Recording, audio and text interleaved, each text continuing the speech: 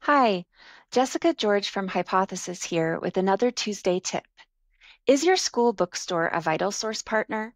If so, it could be a great time to use the Hypothesis VitalSource integration to set up engaging readings for your students.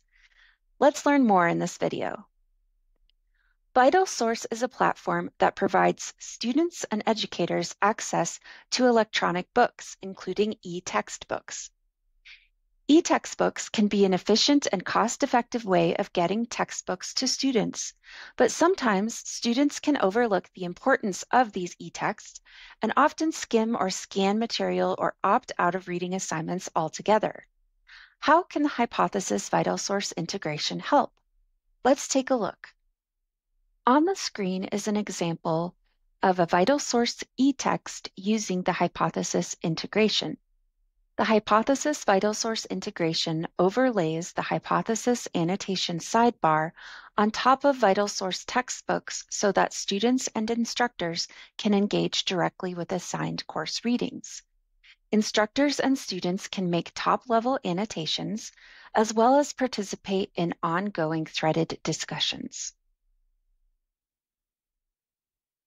Using Hypothesis with your VitalSource ebook promotes active reading as students can annotate passages collaboratively within the ebook. Using Hypothesis with your VitalSource ebook also can support regular and substantive interaction, or RSI.